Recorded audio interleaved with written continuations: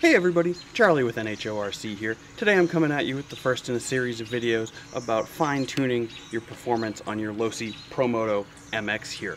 So, as everybody knows, this thing is not a regular RC car. It is an RC motorcycle. It has to balance, it's got a gyro, it's got a flywheel.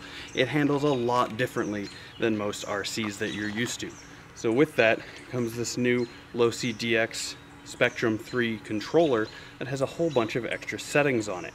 So this video I'm going to be focusing on working on discovering how the gyro really functions one way to the other. In the manual if you read it it's pretty vague. It's basically only really mentioned in the quick start guide and it just says turn the gyro up to lean more. But what does that mean in practice, right? There's a lot of people I've seen online saying this thing's really hard to handle, it's too hard to uh, drive around a smaller track. And I just don't think that's the case. I think it requires A, practice, and B, uh, tuning this thing right. So in this first one, I'm gonna be setting up a test track here in my driveway that has a series of cones laid out. And I'm basically going to do a series of tests here to understand how the gyro functions at different speeds, and different turning radiuses. In a future video, I'm going to do a similar one with the front brake trim and sub trim features. So I'm going to get this thing powered up. I'm going to show you the test track, kind of walk you through my methodology here. So what you see behind me here is my driveway. This is a pretty sandy, gravelly mixture. It's very hard. Uh, it doesn't go very far if you, you know, uh, kind of dig into it. It, it really kind of just lets you slide around a little bit. It seems like a pretty good location to do this test. What I'm going to do here is I'm going to start with the gyro all the way up. Everything else I'm to leave alone. So the bike is trimmed to be straight for me. Uh, you know, with the, the steering sub trim, front brakes are trimmed how I want them for this surface at the moment. Again, I'll go into brake trim uh, testing at a later point. This is to be in dirt mode for the riding. All of this is to be in dirt mode. When I get the Losi Promoto Supermoto tires, I'll probably do another similar one on pavement, but I don't have them yet. So all I'm to be doing for this whole video is playing with this knob. I'm going to start with it all the way maxed out, and I'm going to basically just, I'm going to get a certain speed going, so it's nice and stable through probably the innermost set of cones, maybe the second set, and I'm gonna be holding it full lock in whichever direction I'm going. As I'm driving, I'm going to change the gyro positions, and I'll announce when I do this. I'm probably gonna do it in four stages. I'm gonna go from full on to a quarter to half to one quarter to off. And we're gonna see what that does to how the bike controls here. So, uh, I'm gonna have some footage from my GoPro further down as well. Uh, that way I can kind of see the lean as we go. I'll announce things, I'll probably narrate over. And we're gonna see how this goes. Uh, so this is currently being tested on a 100C battery. Uh, everything's stock, no changes, stock factory tires. And let's see what this gyro really does. Hey everyone, so I think the best way to understand exactly how the gyro actually functions is to look at some stills and some slow motion video here. So if you just want the short version, this is all you really need to watch. I encourage you to watch the rest of the video as you uh, you know can watch along with me as I kind of experiment with it. But if you're looking for the quick version, the beginning here is all you're really going to need to watch. So uh, on the right, we have 100% gyro as it's represented on the transmitter, and on the left we have 0% gyro as represented on the transmitter. Now in the manual it says the 100% gyro is actually 100% lean, and 0% uh, gyro is 0% lean, which is far more accurate. So in the right frame, 100% gyro, the gyro is fully off, and in the left frame, 0% gyro, the gyro is actually 100% on.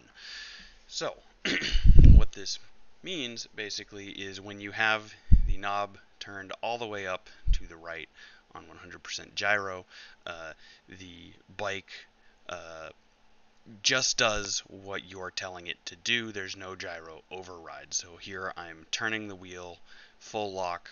I want the bike to turn to the left. The wheel turns to the right because it's reversed to make the bike turn. And basically the gyro does absolutely nothing in this scenario. It's just like you want to go that way, I'm going to hold the wheel here. It's up to you to make the rest work. In the left, I'm telling it I want to go left as hard as I can, but the gyro is on as hard as it can, which is 0%. So the bike is making micro adjustments. You can see them here. Even though I'm giving it the same input in both shots, the wheel is turned much further left. It's making all kinds of micro adjustments. Now, if this was a full scale bike, you'd also be able to use your body to control this and doing the micro adjustments with the uh, handlebars wouldn't be that hard, but given the small scale and high speed, it becomes incredibly difficult to make these micro adjustments. This is basically how a drift gyro works on a drift RC car, except this is reversed. So, uh, in theory, you could uh, put the bike at 100% gyro and it would uh, function the same if you could make the micro adjustments fast enough. So here we've got some annotations. You can see at the beginning of the uh, turn, the wheels are basically the same. I've annotated the wheel direction here with a little red tick on each. The initiation to the turn looks exactly the same on both. So in this next frame that's coming up, we're halfway through the turn. You can see on the right frame, the bike is drifting. So the bike is just following what I am telling it to do. It's holding the front wheel fully locked and it's initiating the drift. In the left frame, the bike, although it's receiving the same input, because the gyro is on, it is ignoring my controls and turning the wheel to the left to result in that sharper turn. The result of this here you can see is that in the right frame I'm still drifting the bike as a whole is not even past the apex of the corner yet uh, but in the left frame the bike has made substantially more progress rotating around the corner and it's either at the middle of its apex or just past it. So this is for me I think the best way to really understand how the gyro works at least at low speeds. Um, so if you're on a looser surface um, you're going to see that drift occur. If you're on a higher traction surface, I'd imagine uh, you're going to need a lot more throttle to get the same kind of drift with the full power uh, gyro uh, at quote 100%. This kind of analysis really helps me as a driver of this bike understand exactly what the bike is really doing. So I think if you are on a surface or a track that has big banked turns, you're really going to need to adjust the gyro accordingly. Now, I'm going to try to do that testing, but I haven't done it yet, so I don't want to speak to uh, exactly, you know, what I think the gyro should be set at. But with this knowledge, right, you can try to be more informed about where you should be setting the gyro. So, in the video, I do refer to it backwards pretty much. Uh, for the majority of the video that follows. I hope you watch it, but um, you know it it's it's not intuitive uh, like like you would hope. I'm not sure how Losi could message this better. Uh, it took me quite a while of watching this footage and kind of just thinking about how it really functions to come to a better understanding of it. Now, having this understanding, uh, I think I'll do a lot better and knowing that if I really do turn the gyro all the way off, I could drive potentially this fast if I could make those micro adjustments, I think is going to be very interesting uh, going forward. I don't think it's possible to drive as good as the gyro just due to the small size and the need for the micro adjustments that you just simply won't be able to make fast enough, but um, yeah, I, I, I would be surprised if anyone really runs this with no gyro ever. So I hope you enjoy the rest of the video. Please subscribe if this has helped you. Alright, the bike's spooling up. I've got everything on. My gyro is at all the way on. I'm going to stabilize into a circle and then I'm going to start playing with it once I've got a really stable circle on. And this is full gyro again. Alright, so this is about as slow as I can reasonably go without dumping it. Ooh, and even that, it still gets kind of squirrely. This thing really likes throttle. So, we're gonna speed it up. Right, this is probably about half throttle with full gyro. As you can see, I I keep kind of uh, dragging that inside lean bar if I really try to crank it. Um, you know, let's just go to a full, a full turn. All right, this is what I was trying to get earlier. So you can see that thing is really kind of drifting out. The back tire is stepping way wide. This is about that much, whoa, throttle. All right, hold on. All right, so I can't just full lock the wheel. That plan's not gonna work and stay up. But, well, maybe. Oh, and there goes the GoPro. All right, the cones were a total bust here. So, all right, I'm gonna try to do that in front of the camera. So, basically, this is about half throttle. Whoa. Okay, hold on. Get it stabilized better than that. We're, roughly half throttle. The bike has a lot of drift to it. So, a lot of drift going on. So, as you can see, whoa. Um, with full throttle and full lock, or sorry, about half throttle, somewhere between a quarter and half throttle, on this surface, I'm getting a lot of drift. This is full gyro. A lot of drift going on and the bar isn't quite touching the ground at this particular speed. Woo, till that happens. I'm gonna try to do the tightest turns we can here. So ton of drift to hold that. I'm about one quarter throttle and full lock, and that's the circles it's holding. A lot of drift. You can see the back end drifting a lot. I'll put some of the GoPro footage in here with full gyro, but it really wants to slide and it's really trying to keep that left hand lean bar off the ground. So, we're gonna come to a stop. We're gonna change it. I'm gonna go to about 75% gyro. We're gonna do it again. And I'm gonna walk for it because it's down. All right, 75% gyro. Try to do the same thing. So, uh, I'm definitely dragging that inside lean bar a little more. It's still got a lot of drift going on. I'm gonna try to get a little closer to the camera it's still got a lot of drift. Now I'm trying to hold as much, like all of these are about, I don't know, a third to a half throttle with a ton of, a ton of skid here. So, whoo, there go my cones. Go the other way. Oh, that'll look cool. Whoa, and there goes my GoPro again. All right, I'm gonna drop the gyro down to about 50% now. All right, so it's way more willing to let the bike lay over. Uh, way more willing to get that lean bar in. So to keep it upright, I'm having to give it more and more throttle. Uh, it's just, it's super, it's, it's getting way more willing to just drop me as we turn the gyro down here. Um, that being said, if I really try to finesse it, I think it's actually smoother in a smaller circle. So that's a pretty tight circle here. You know, you get a little skid in the rear. It's still drifting some, but not as bad as it was. Cone. All right, we're gonna turn it down again. So now we're gonna go to uh, about 25%.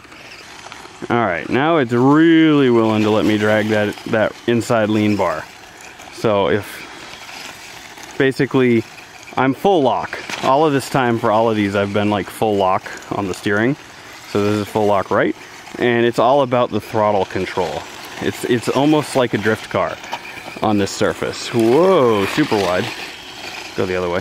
Uh, with the gyro down this much, I, I'm really having to feather the throttle to keep it in the air. Because if I let off the throttle, as soon as I let off the throttle, a little bit, it really, see like that was like 10% lean off the throttle and it really is now dragging that inside lean bar.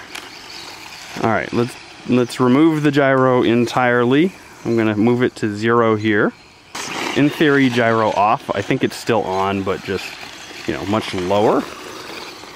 So now, full lock again right here.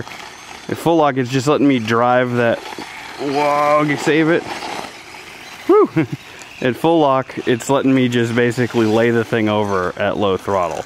So with no gyro, yeah, like you could be really precise with how long you want to drag that lean bar on the ground, which to be honest, especially on this surface where there's rocks and imperfections, dragging the lean bar on the ground is kind of a liability because it'll catch um it'll catch small rocks. I earlier when I was I was messing around with this on my lunch and I had the idea for this video, uh, I hit a bigger rock as I was cruising around with the lean bar and it kind of like launched the whole thing.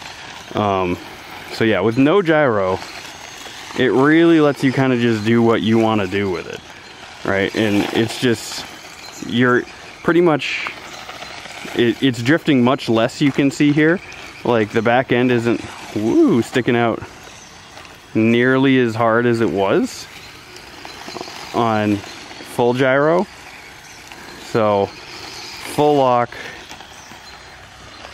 it'll you can just drag that lean bar it'll let you go way lower to the ground all right so and now we're gonna go from zero gyro back to 100% gyro whoa almost took my tripod out we're gonna go from zero all the way up to full gyro and compare it again so all right we're back at full gyro now I'm full lock I'm way higher in the throttle so I, I am half to three quarters in the throttle and that's about the smallest circle I can hold. Let's Switch directions here. Woo! Oh, my camera. I gotta reset the camera. Woo! All right. So this is pretty much the tightest turn I can hold at full gyro.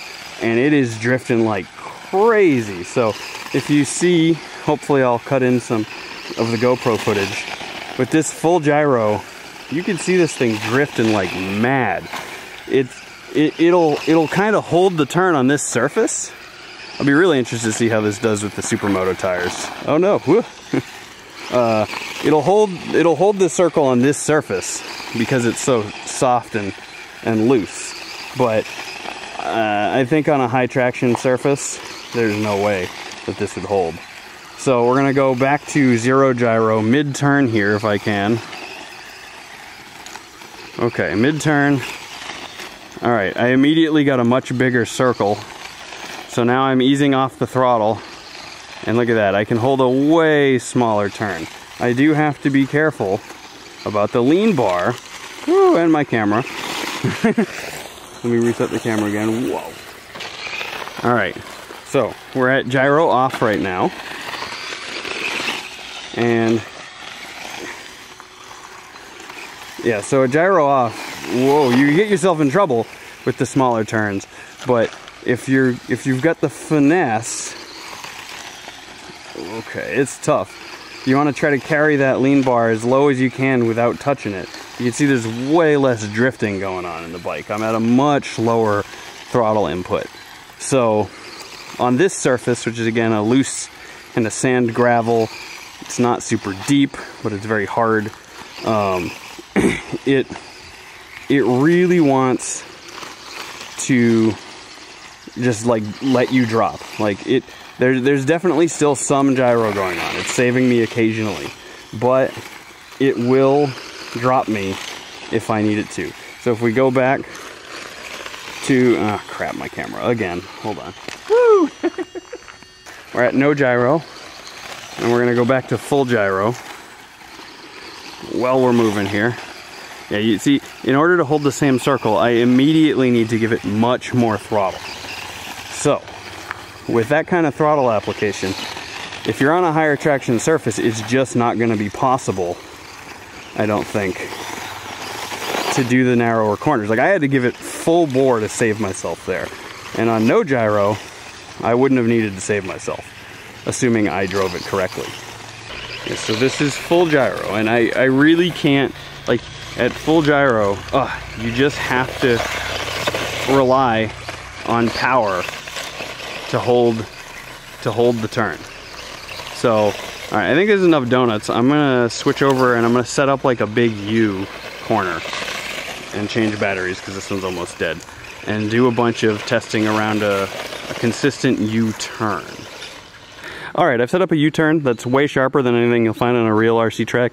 So we're gonna see how the different gyro settings impact uh, taking a, a sharp U-turn like this and what kind of speeds we can do at different settings. So at full gyro, it drifts like mad. Drivable. Woo!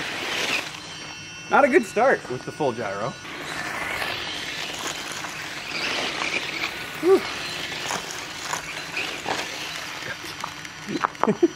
I think this is the problem I was having in my first video. oh. Oh no, my cones! I think the lesson is going to be there's no way to turn this sharp with this much gyro. Yeah. Oh my god.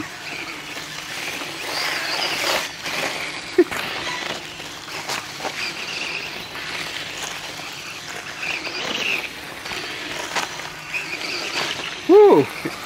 It is hard. I think the key here, if you're trying to race tight tracks, is you're gonna need like no gyro. One more, that one was really bad. It should be like way back. All right, we're gonna turn the gyro down. All right, we're gonna drop the gyro to 50% here. And we're gonna try it again. Oh yeah, immediately more controlled.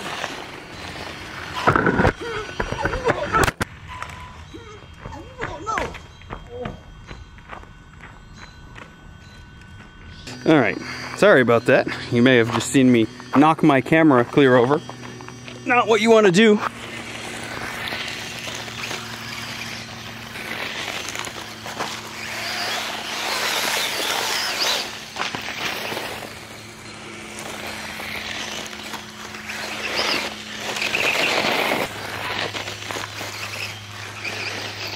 All right, we're gonna drop the gyro down to zero and see how we do.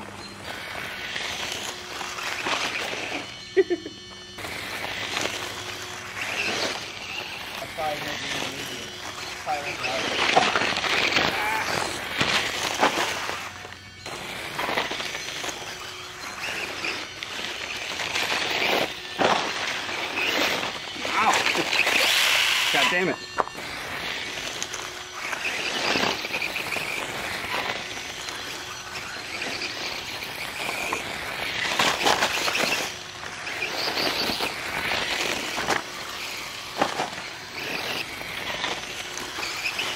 There we go.